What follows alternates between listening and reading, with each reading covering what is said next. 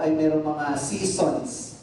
Ang Amerika, ibang season. Ang U- dito po sa atin, ibang season. Pero ang makikita po natin, ang Diyos na ating pinaglilingkuran is the God of all season.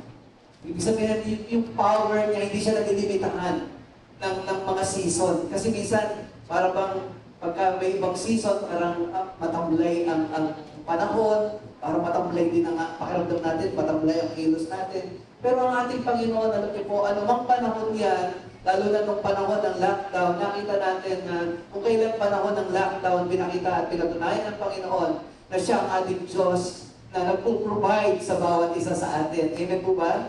Ngayon po, talagang ang sibuyas ay talagang nakakaiyak hindi dahil sa paglilihiwa mo, kundi napapaiyak ka dahil sa mahal.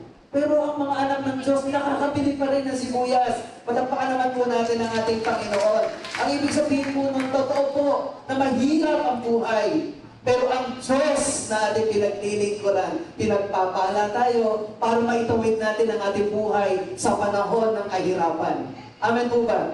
Yan po kasi ang ating Diyos. Hindi po siya naapektuhan ng anumang season. He is above all seasons. Kaya mga kapatid sa Panginoon, salamat dahil kapag ka tayo ay mayroong pananampalataya sa Diyos, lagi tayong mayroong sapat na pas dahilan para talagang magpasalamat sa ating Diyos na pinaglilingkuran. Amen?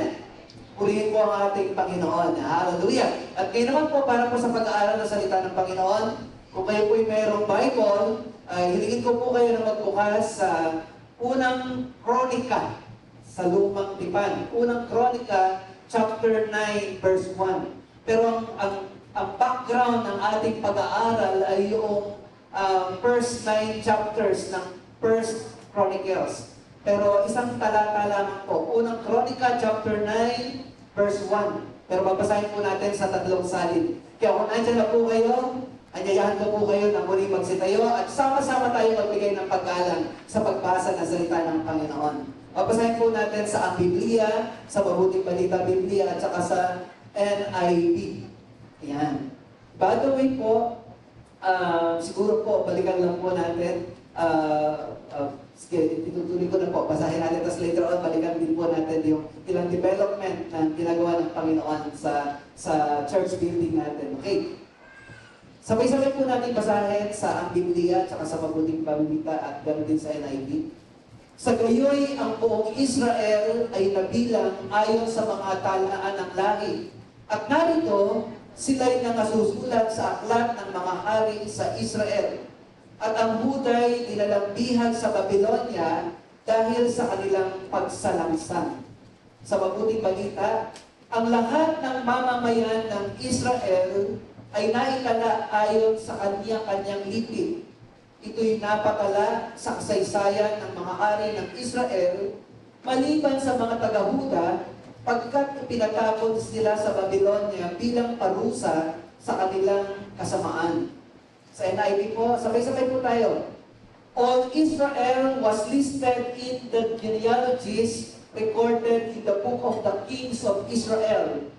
The people of Judah were taken captive to Babylon because of their unfaithfulness. Tayo po sama-sama magpasalamat sa Panginoon. O Diyos, tunay nga po na sa lahat ng panahon ay meron kaming dahilan para pasalamatan ka sapagkat ikaw ang Diyos na higit sa anumang panahon na pinagdadaanan namin sa buong taon. At laging mayroong dahilan kami, Panginoon, na magpasalamat dahil binibigyan mo po kami ng mata ng pananampalataya upang makita namin ang iyong mga dakilang gawa, maliit man o malaki o Diyos, lahat ng ito ay pinapakita mo sa amin na dahil sa iyong kaputihan at katapatan, meron kaming Diyos na buhay at makapangyarihan na hindi kami pinababayaan, hindi kami iniiwanan kailanman. Kaya tagapin mo po ang aming papuri at masasalamat at sa oras na ito, sa pagbubulay ng iyong salita, hayaan mo Diyos na uh, muli ang iyong salita ay maging uh, matibay na sandigan ng yung mga lingkod upang sa pata, patuloy, Panginoon, na pagharap namin sa iba't ibang sikwan ng buhay, meron kami uh, andun yung aming kapahayagan ng pagpapasalamat. Lagi dahil nakikita namin na ikaw ang Diyos na gumagawa para sa amin. Maraming maraming salamat o Diyos. Ang lahat po ng ito ay aming pong dinadalangin ng may pagpapasalamat sa pangalan ng aming Panginoon. Amen. Makapo na po kayo po rin po ang ating Panginoon. Kaya nyo din po na magulat ako at magpasalamat din sa Panginoon sa ginagawa po sa ating pong ah, construction doon ng ating pong ah, bagong chapel. Noong December 15 po ay nag-start na po yung first ah, service doon. At nagsimula po kami na um, graba yung, yung uh, pinagtitipunan. Pero night po, lagi meron mga karagdagang development. Nung second night, nakapag-flooring ng one-third. Nung third night, yung two-thirds. At sa biyaya po ng Panginoon, ngayon po ay um, na talagang na flooringan na siya, na sementohan na. At nung umalis po kami nung uh, nakaraan po, itong uh, pag-alis po namin last Wednesday, ay nagsisimula na pong mag-tiles doon sa flooring. At naikabit na rin po ni Brother Orly yung ah, bintana po. Kaya meron na pong bintana yung ating pong chapel doon. At ang nakakatuwa mga kapatid sa Panginoon, yun nga po, panahon ng lockdown, pero napakabuti po ng Panginoon. Ngayon niya po niloob na maitayo po yung bagong bahay sa bahan doon po sa Sariayang Quezon. Napakabuti po ng ating Panginoon. Talagang aktam lang ng pananampalataya. Alam niyo po, nung first night, ay meron pong isang kapatiran sapagkat sila po ay bagong kasal. Uh, sa gala po ay tumanggap sila ng more than 200,000. Nagbigay po sila ng 20,000 sa gawain ng Panginoon noong December 15. Then the following day po, noong December 16, isang kapatiran po ang nagkumit ng 43,000 yung kanyang unang sweldo po, binigay niya para po matuloy nga po yung pagpapagawa natin doon. Kaya talaga pong uh, hakbang lang ng pananampalataya. Pinapakita talaga ng Panginoon na kung siya ang ating tinitingnan, meron siyang ginagawa sa ating kalagitnaan. Amen? Kaya by God's grace po, um, sa susunod na Sunday ay baka po, dahil wala po kami doon, baka totally po ay nag-tiles na po yung buong flooring ng ating pong bagong bahay sa bahan sa Sariaya, Quezon. Kaya palakpakan po natin na masigabo ang ating Diyos na buhay at makapangyarihan. Thank you, Lord. Purihin po ang ating Panginoon. Hallelujah. So, dito po, balikan po natin, dito po uh, pinag-aaralan po natin na salita ng Panginoon. Alam po po, sa pagbabasa niyo po ng banal na kasulatan, kapag bumaba, pagka na, papatuon po kayo na kakaroon kayo ng lugar na matuon doon sa tinatawag na genealogies o yung, yung mga account ng mga listahan ng mga mahabang pangalan. Alam ko, ang pinakamadaling gawin doon sa sa mga genealogy ay lagpasan ito. Kasi, kumbaga, sino ba naman sa atin ang merong makikitang interest sa pamamagitan ng mga habang lista ng mga pangalan na ito? Ngunit sapagkat dahil nga po ngayon ay ating pong uh, Thanksgiving Day, nais ko po na sa pamamagitan po ng bahagi ng panlakasulatan natin pinag-aaralan, I want you to have a new look at genealogies and find ways to be thankful to God about genealogies. Kasi, aminin natin, pag genealogy, talaga parang ang dating ay, ah, wala ito, lalagpasan na lang, ay, irrelevant ito, ay boring. Yan po yung nakikita natin or naiisip natin kapag uh, genealogy ang pinag-uusapan. Pero ngayon po sa ating pag-aaral ng banal na kasulatan, yan po yung ating uh, bibigyan ng pansin. Thank God for genealogy. Gusto ko na kahit nasa genealogy, magkaroon tayo ng, ng pagkakataon para talagang mapasalamatan natin ang ating Panginoon. Bakit po? Kasi Kapag ka, sa ayaw sa gusto ninyo, kapag ka kayo nagbabasa ng Biblia, hindi ninyo maiiwasan na ma-encounter ang genealogy. Amen po ba? Old Testament, marami po mga, may mga ilang account ng genealogy. At pagdating din po sa New Testament, ay meron din po yung account ng um, genealogy ni Jesus sa Matthew at saka sa, sa Luke.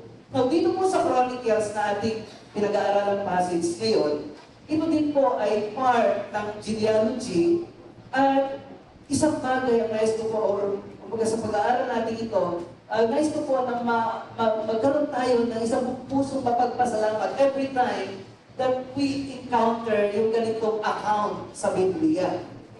By the way, pag sinabi pong Chronicles, ang ibig sabihin po dito ay list of events.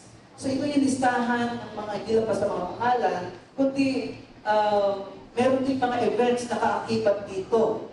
At pwede po natin itong uh, bigyan ng pansin o tawagin sa ating modern time na parang diaries or yung tinatawag na mga entries of events na hango po doon sa mga archives, hango po doon sa kanilang mga um, talaan ng mga uh, nangyari sa kanilang panahon. At ang tawag po sa mga uh, nagsusulat nito ay mga chronicle, chroniclers. Kaya sila nga po, itong book na to ay tinatawag na Chronicles. Now, ano po ang significance ng genealogy? Ano bang significance ng pagkaka itong mga mahabang pangalan na ito? Ano bang pagpapala ang masusumbungan natin kapag ka tinignan natin ito? Now, tatlong bagay po. Number one, ang una po na nais ko makita natin kapag ka kayo po ay nagbabasa ng genealogy, makita niyo po ito na ang genealogy ay nagpapahayag that we are important to God. Isang bagay po yun. Sabi po ng unang Kronika chapter 9 verse 1, kung binasa natin, sabi, ang lahat ng mamamayan ng Israel ay naitala ayon sa kanyang lipi. Lahat ang sabi. Sa NIV, all Israel was listed in the genealogies. So, yung salitang lahat, meaning, no one was missed out doon sa listahan na yon. Kaya kapag ka kayo po ay isang Hudyo, at gusto ninyong malaman ang inyong lipi, ang inyong pamilya, ang gagawin lang po ninyo, hahanapin ninyo doon sa listahan. Kasi kumpleto po ang, ang chronicles, kumpleto po yung mga um, talaan ng mga angkan, lalo na ng mga Hudyo, kumpleto po yan. At dito nga po, nakita natin, ang unang chronicles ay magugulat kayo First Chronicles ay ito bubukad sa atin. Mula chapter 1 hanggang chapter 9, mahahabang listahan ng mga pangalan ng mga lipi, ng mga angkan, ng mga Israelita. At ito po ay it traces back doon sa panahon pa ni Adam hanggang sa mga Hudyo na napatapon sa exile na papunta ng Babylon. So yung listahan na yon ay bumalik pa doon sa panahon ng panahon ni Adam hanggang doon sa mga pala, maging yung mga napatapon sa Babylonia. Now, anong ibig sabihin ito? Ang sabi po ay, kumbaga nagpapahayag ito na lahat ng mga pangalang nakalista dito, nagpapahayag na importante sila sa Diyos. Lahat ng mga pangalang ito ay natala dahil mahalaga sila sa Diyos. At alam ko na kapag ka kayo din po ay nagbabasa, kasi ninyo po, ang First Chronicle, chapter 1, verse 1 and 2. Yan po ang makikita natin. Ang nakatala dyan, sabi, anak ni Adan si Seth, at anak ni Seth si Enos, anak ni Enos si Kanaan, si at maging anak naman ni Karnan si Mahalal na ama ni Jared. Mula dito, and all the way through the rest of the chapter 9, ang makikita niyo po dito ay tuloy-tuloy halos na mga lista ng mga pangalan. At syempre, kapag ka puro pangalan yan, anong gagawin mo? Ang pinakamainam talaga ay laktawan na lang ito. At ako po, noon, ganun din po ang aking ginagawa. Kaya lang po, kung kayo po ay isang Hudyo, makikita po natin dyan, ang, ang sabi po doon sa binasa natin sa unang Chronicle chapter 9 verse 1, sabi, lahat ng lipi. Ibig sabihin, hindi lamang ito listahan ng mga who's who. Hindi lamang ito listahan ng mga magigiting na uh, lipi ni David o ng mga uh, sa kaharian, ng mga uh, lahing bughaw. Hindi. ito po ay listahan ng mga lipi na mga pamilya na kasama sa lahi ng mga Israelita. Listahan ito na ng mga pamilya nagtagumpay man o hindi. Listahan ito ng mga angkan, maliit man o malaki pa nilang angkan, pagka sila ay kabilang sa mga Hudyo, mga Israelita sila, kasama sila sa listahan ito. Kaya, ibig sabihin po, napakahalaga na kung kayo po'y Hudyo, napakahalaga sa inyo na makita ang inyong pangalan sa listahan ito. Bakit? Kasi ibig sabihin, you are counted doon sa lipi ng mga Israelita. Kaya, alam naman natin na ang mga Israelita ay tinatawag na bayan ng Diyos. Kaya kung ikaw ay kasama sa listahan ng mga Israelita, at ito ay listahan ng pamilya ng Diyos, nagpapahayag ito na tayo ay importante sa Diyos. Kaya mga kapatid sa Panginoon, mula po ngayon sa inyong pagbabasa ng Biblia,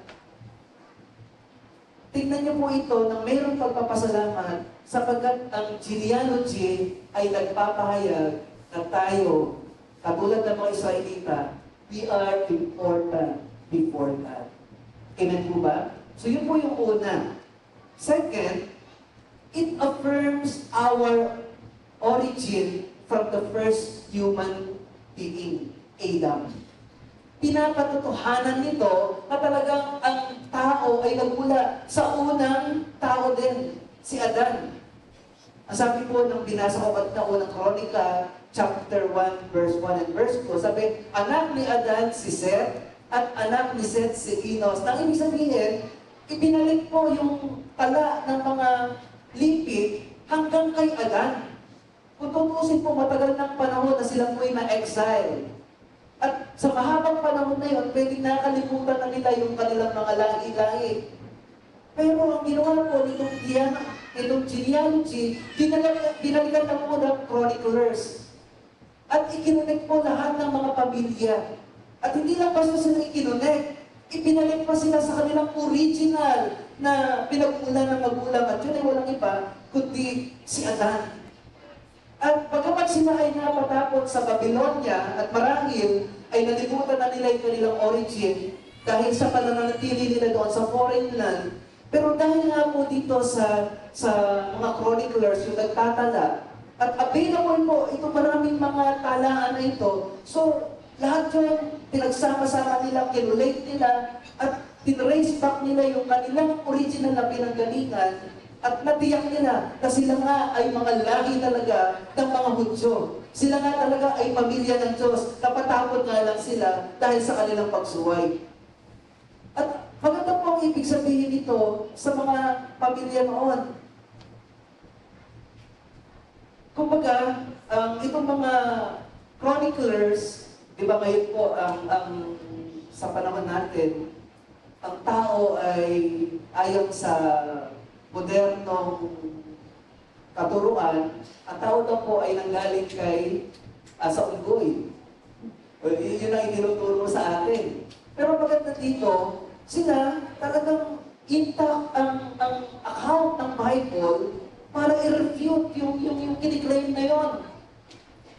Kaya na, sa ating panahon, yun noon kasi, nung panahon ng, ng Chronicles, ilang libo na rin na yung lumilipas, pero mapapansin nyo na habang lumilipas ang panahon at yung katotohanan ay hindi na nabibigyan ng pansin, ano nangyayari? Pag nakakalimutan yung katotohanan, pag ano mang ituturo sa'yo, tinatanggap mo na lang yon.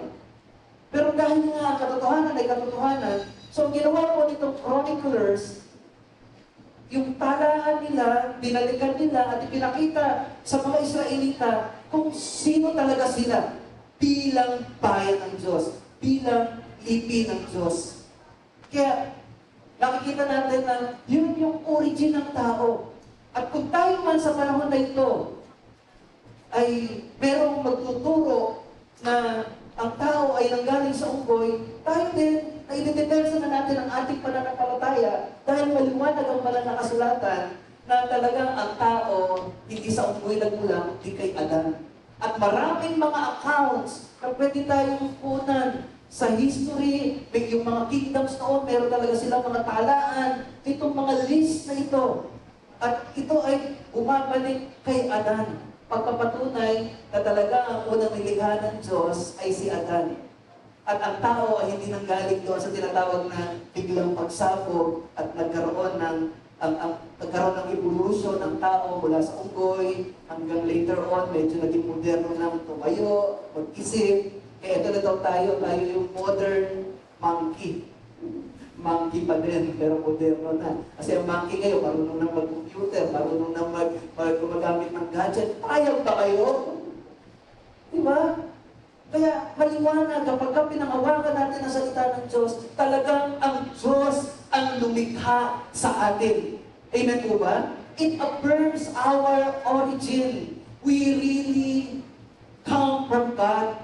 Ang Diyos ang naglikha sa tao. At dapat yung katotohanan na yan ay tanggapin po natin. At sa pamamagitan ng genealogy, napapatunayan po yan. Amen po ba? So palakpakan po natin ang ating Panginoon sa katotohanan na yan.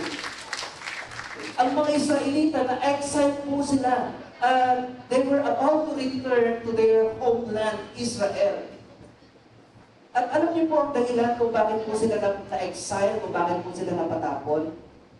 Sabi po dito sa ating passage, sabi, All Israel was listed in the genealogies recorded in the book of the kings of Israel. Pansinin niyo po itong second part ng verse. The people of Judah were taken captive to Babylon because of their unfaithfulness. So maliwanag po, yung mga nangyayari sa ating panahon ay resulta ng ating paglayo sa Diyos. At ito yung pinapaliwanag ng chroniclers dito. Hindi kayo napatapon dahil ang ang mga kalaban niyong mga bansa ay ma matatapang, mahuhusay, ang kanilang kabayo ay mas mabibilis kaysa sa kabayo ninyo, kaya kayo natalo. Hindi yan dahilan kung bakit kayo natalo. Kung kayo, bakit kayo napatapon sa, sa Babylonia. Kung bakit kayo na-overtake ng ibang mga bansa. Ang tunay na dahilan kung bakit nangyayari yan sa inyo dahil kayo ay unfaithful sa inyong Diyos na lumikha sa inyo. Kaya kumbaga makikita natin na dahil doon sa katotohanan na yun, itong mga Israelita nakita nila na meron silang pagkukulang sa Diyos. So yung genealogy, pinapatunayan din po yan. Amen po ba? Kaya sa pamamagitan po ng panibagong pagtingin natin sa genealogy, magkakaroon po tayo ng, ng pagkakataon para tingnan ito at maging mapagpasalamat sa Diyos that even this long list of names ay meron pa rin kabutihan tayong makikita mula sa Diyos. Kung titingnan po natin, ang mga Israelita po dito, nahati po sila sa dalawa eh. Merong Northern Kingdom, merong Southern Kingdom. At nung nahati po ito, sila mismo mga kaharian ay naglalaban-laban. Pero kung titingnan natin ngayon dito sa Chronicles, pinag-isa sila bilang isang bayan ng Diyos. Ang tawag sa kanila ay mga Israelita or mga Israelites. Nagaling kay Jacob. Na sinasabi sa kanila, hindi naman kayo talaga ang magkakaaway. Iisang lahi kayo. Galing kayo kay Jacob, Israel. So, sa pamamagitan din ng genealogy, napapag-unite sila na dati sila ay naglalaban-laban. So, ano po ang ang makikita natin dito ang kalagayan ng mga Israelita? Number one, yun nga po, pagpapatunay ito na bawat isa, yung lipi na kabilang doon sa genealogy, ay pagpapatunay na sila ay importante sa Diyos. That they are God's people. Ang sabi nga po ng Galatia sa ating panahon, malaki din po itong pagpapala sa atin sapagkat nagpapatunay ito na kung tayo, alam natin ang pinagmulan natin ay kay Adan. At tayo ay nananampalataya sa ating Panginoong Yesus na nagaling sa tribo ni, ni, ni Judah. At tayo ay yung pagpapala na para kay Abraham ay para din sa atin. Ang sabi ng banal na kasulatan, wala nang pagkakaiba ang Hudyo at saka ang Hentil. Kung noon, kinikilala sa Chronicles that the Israelites were God's people, tayo ngayon sa ating panahon bilang kabilang sa church, tayo din ay tinatawag na God's people through Jesus. Hindi na lamang ang mga Israelita ang tinutukoy ng Diyos na kanyang bayan, kundi tayo na nananalig kay Kristo ay kabilang sa bayan ng Diyos na siya ang ulo at tayo ang kanyang katawan. Wala nang pagkakaiba ang Budyo. Hindi nakahihigit ang Budyo kaysa sa atin. Ang sabi po ng Galatians chapter 3 verses 26 hanggang 28, tingnan niyo po, sabi, dahil sa inyong pananalig kay Kristo Jesus, kayong lahat ay anak ng Diyos. So, totoo yun ang claim. It affirms. Yung genealogy ay nag-affirm ang katotohanan ng mga Budyo ay anak ng Diyos. Pero mga kapatid sa Panginoon, kahit tayo ay mga hintil, dahil kay Kristo, tayo din po ay tinatawag na mga anak ng Diyos. Amen po ba? Bakit? Sapagkat ang lahat ng nabautismuhan kay Kristo ay pinananahanan ni Kristo. At ito po, verse 28. Wala nang pagkakaiba ang Hudyo at ang Griego, ang alipin at ang malaya, ang lalaki at ang babae. Kayong lahat ay iisa sa church. Yan na po ang kategory ngayon we are all the same sa panahon natin sa church. Noon, talagang big deal pag ikaw ay sinabi, isa kang Hudyo, big deal talaga yun sa mga Hudyo. Kasi privilege nila yon na matawag sila na bayan ng Diyos. Pero mga kapatid sa Panginoon, huwag po kayong malulungkot na parang sila lang ang mahal ng Diyos. Hindi. Nung dumating po ang bagong tipan through Jesus Christ, dahil po sa ating pananalig sa ating Panginoong Yesus, tayo din ay papalad na din po dahil tayo po ay bayan na din ng Diyos. At ang sabi ng verse 27, pinananahanan tayo ng Diyos dahil kay Kristo Jesus. Amen po ba? So yan po yung kalagayan natin dahil sa ating pananampalataya sa Panginoon. Sa NIV, sabi ito po, You are all sons of God through faith in Christ Jesus. So, pinagpala po tayo because of Jesus. Kasi parang naging bayan na rin tayo ng Diyos. For all of you who were baptized into Christ have clothed yourselves with Christ. There is neither Jew nor Greek, slave nor free, male nor female, for you are all one in Christ Jesus. So yan po yung pangalawang significance ng genealogy we are to be thankful na merong genealogy. Kasi it traces us back doon sa original nating magulang si Adan. Pero siya ay nahulog, nagkasala, dumating sa pamamagitan ng tribo ni Huda ang tagapagligtas. At yung tagapagligtas na yon, ang dumating dito, binigyan tayo ng Lilinis tayo sa ating kasalanan, pinatawad tayo sa ating kasalanan, binigyan tayo ng buhay na walang hanggan. So, tayo din ay anak na ng Diyos sa pamamagitan ni Kristo Jesus. Kaya, hindi lamang ang Hudyo ang papalat at pinagpala. Tayo din po ngayon ay papalat at pinagpala dahil kay Kristo Jesus. And lastly, pag tinignan niyo po ang genealogy, you have to be thankful to God. Bakit? Hindi lamang it, it says that you're important, hindi lamang it affirms our origin from Adam. Thirdly, it gives us a clear message of God's faithfulness. Nagpapahayag ang genealogy ng malinaw na mensahe ng ating Diyos ay very faithful. Alam niyo po ba na tapat ang inyong Diyos na pinaglilingkuran? Mahalaga po ito na makita natin kasi kung hindi po natin uh, nauunawaan ang faithfulness ng Panginoon, paano ka magtitiwala sa Kanya? Paano ka magtitiwala sa isang tao na hindi marunong tumupad sa Kanyang pangako? Di ba? At sa atin po, napakahalaga ng katotohanan ito. Kaya nga sabi po ng unang Chronica chapter 16, verse 16, ang ginawa niyang tipan, yaong tipan kay Abraham, pinagtibay kay Isaac ang pangako sinumpaan. So, ang ating Diyos, kapag ka nakikipagtipan, hindi niya sinisira. At ano ba sabi ng Deuteronomio chapter 7 verse 9? Alalahanin ninyo na si Yahweh ay Diyos na hindi marunong sumira sa pangako. Tapat siya sa lahat ng umiibig at sumusunod sa Kanya at ipinagdarama niya ang kanyang pagmamahal hanggang sa isang libong salin langit. Yung faithfulness ng Panginoon, yung pagpapadama niya ng pagmamahal sa atin, hindi ng kanyang puot.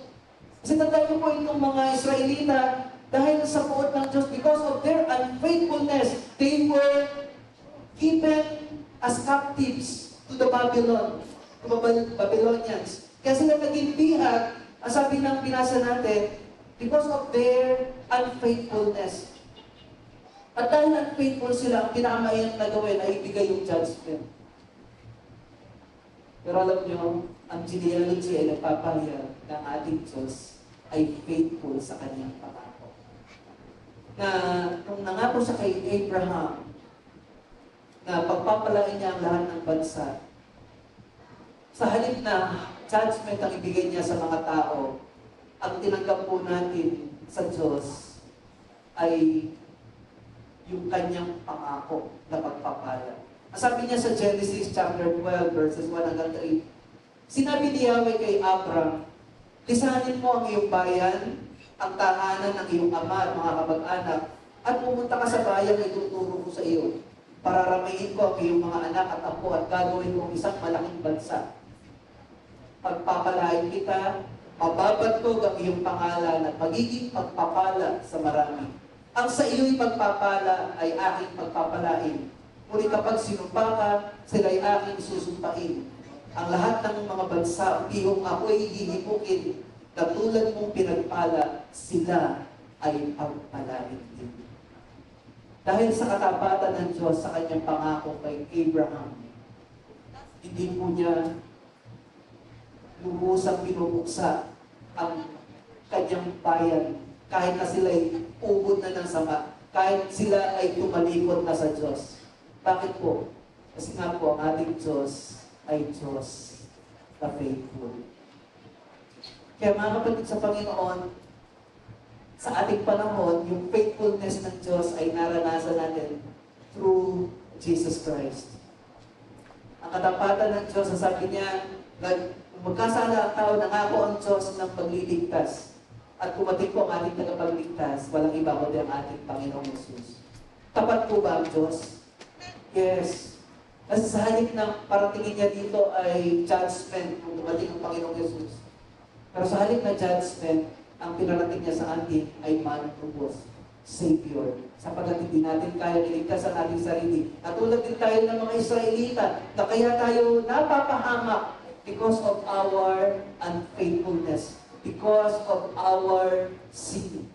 Kung ano man ang nangyayari sa ating panahon ngayon, yun ay epekto hindi dahil sa uh, ang mga bansa ay masyadong mataas magpaano ng kanilang gasolina. Hindi. Ito po yung epekto, yung nangyayari sa ating panahon, mataas na bilihin, ang mga tao ay wala ng panahon sa Panginoon.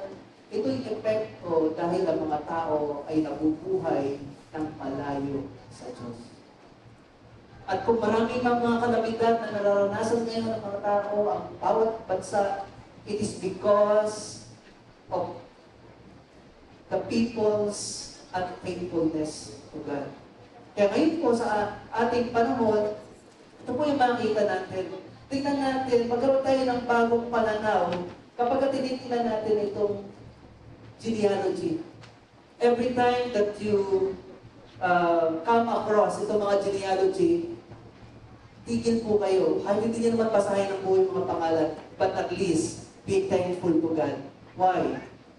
Mari hindi man nandyan nakasulat ang pangalan mo. Pero nangako ang Panginoon. Sabi ng mga alagad, di ba?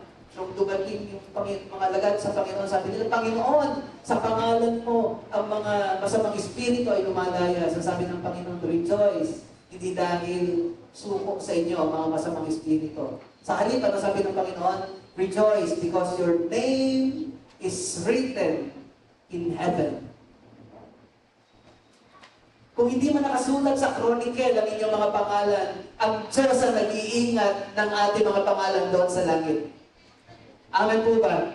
At yun yung ating kapanatagan, yun yung katotohanan, na kung paano tapat ang Panginoon dito sa Chronicles, wala siyang nangis, lalong-lalo na yung mga tapat na naglilingkod sa Kanya sa bagong panahon through Jesus Christ. Lahat ng nananalig sa Panginoon, ang sabi ng banal na kasulatan, ang ating pangalan ay nakasulat sa aklat ng buhay. At walang sino mang makakabura doon. Amen po ba? Amen. Palapakan po natin ang ating Panginoon and let's always be thankful doon sa katotohanan na uh, itong genealogy na to ay pagpapatuloy we are important before God. It affirms our origin. Si Adan ang ating magulang. Tilikha tayo ng Diyos. Ang Diyos ang ating Diyos. And thirdly, pagpapakita ito ng maliwanag na mensahe, the God that we are serving is a faithful God. Na kahit na minsan unfaithful tayo, this God will always accept us because of Jesus. This God will always um, care for us, protect for us because of Jesus. Kasi yung pangako niya sa ating kay Abraham ay nangyari kay Jesus. Kaya kung tayo ay na kay Jesus, yung pagpapala na yon available para sa bawat isa sa atin. Amen? Purihin po natin ang ating Panginoon. God bless you po. Amen. Purihin po Panginoon.